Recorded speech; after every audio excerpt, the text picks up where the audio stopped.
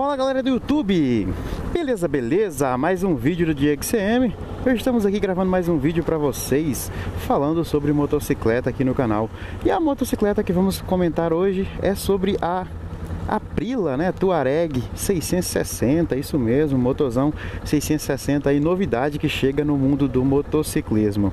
Bom, pessoal, mas antes disso, quero convidar você, né, que não foi inscrito no canal aí, já convido a se inscrever, ativar o sininho da notificação e vir trocar aquela ideia com a gente aqui no canal, que é o canal mais diversificado aqui do YouTube, onde falamos de moto, trazemos vídeos sobre manutenções em geral passeios, viagens off-road, passeio on-road e vamos que vamos. No vídeo de hoje, pessoal, vamos estar falando aqui sobre a Aprila 660 Touareg, né? Que acabou de ser lançada aí. Essa moto ela foi apresentada um conceito em 2019 e agora em 2021 a Aprila lançou oficialmente a motocicleta. Mas vamos lá. O que o que nós brasileiros podemos esperar dessa motocicleta? Bom, em primeiro lugar, pessoal, a Aprila não tem né, fábrica no Brasil. Ou seja, essa motocicleta viria para o Brasil de uma, é, como já são importadas hoje, né, as motos a, da Aprila, seria importada. Não seria, não teria fabricação nacional. E isso, lógico, dificulta um pouco o acesso é, acaba colocando aí, deixando as motocicletas um pouquinho mais caro do que o comum, de que as motocicletas fabricadas aqui no Brasil. Mas isso é normal. Hoje nós já temos esse procedimento de importação aí para motos da Ducati, né? Que é feito assim. Até pouco tempo a BMW também era assim, a Trife era assim, agora elas têm é, fabricação nacional, né?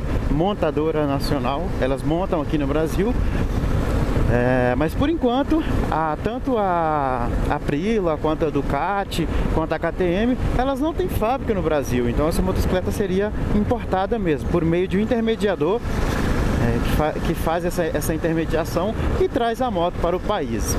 Essa moto, pessoal, ela vai chegar é, lembrando que não é um vídeo muito técnico, eu não gosto de fazer vídeo de ficha técnica, porque isso aí vocês acham em sites por aí, né? E outros canais no YouTube. O meu, o meu intuito é mais de comentar mesmo. Falando um pouco dessa moto, ela tem 7 cavalos a mais de potência de que a sua principal concorrente, a Yamaha Teneré 6, é, 700. E quando eu falo concorrente, por quê? Porque a Teneré 700 agora acaba de ganhar oficialmente uma concorrente no mundo. Isso mesmo, pessoal. Ela reinava sozinha.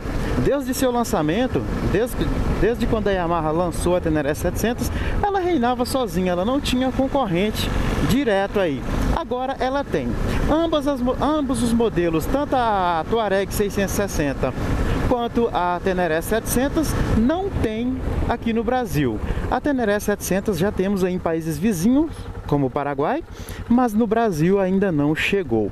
Então, provavelmente, se a Aprila vier para o Brasil como um, importada aí pelo, intermedi pelo intermediador, provavelmente ela tem grande chance de chegar no Brasil antes da Yamaha Teneré 700. Porque a Teneré 700 a Yamaha não usa meios de intermediação para importar motocicletas, ela mesmo que faz essa essa trans essa transição, porém é, devido a questões de custos e por ter fábrica nacional, a Yamaha não costuma fazer, não tem esse esse costume de trazer motocicletas, ou seja, então pode ser que a Aprila chegue no Brasil antes da Teneré 660. O que isso muda para o Brasil? Bom, não adianta a gente ficar muito alegre, né?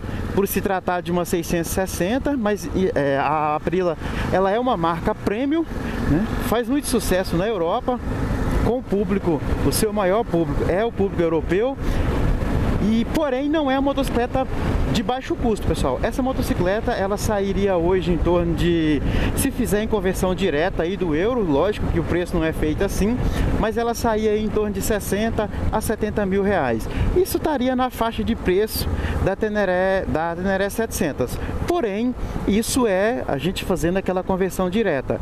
Não sei se essa moto for se trouxer ela para o Brasil, qual, se, qual será o preço ainda. Mas só sei que é uma baita moto. Totalmente voltada para o estilo trail, né? Totalmente voltada para o estilo trail, não. Ela é uma moto Big Trail, muito imponente, muito bonita. Lembra muito a Teneré 700, inclusive até os pneus, né? Elas usam o mesmo modelo de pneu, que é o Scorpion, é o Pirelli Scorpion. Isso que eu acho muito bacana, que inclusive eu estou usando aqui na minha Teneré também esse pneu, muito bacana, acho muito bonito. E o estilão aventureiro, né? suspensão com longo curso na frente, é, garfo telescópico com dois, dois discos de freios.